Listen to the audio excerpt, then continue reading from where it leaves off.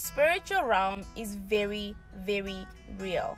If we believe in the Holy Spirit, which is a Holy Spirit, then why do we overlook the fact that there are demonic spirits? Why are you pastors not teaching your people, teaching your congregation that there are demons that are roaming the earth? That there are principalities. The Bible says our, our fight is not against our flesh, it's against the rulers and the principalities. People so they can be aware. Let people know. Stop just preaching about love and kindness and what God has planned for you and all these worldly things. Talk about the spiritual realm. It's very real. It's taking people every single day. So many people are being deceived because of the lack of knowledge. And as teachers, I'm talking about the preachers right now, the teachers, as teachers, you guys are supposed to be telling people about them, but you are not. Why?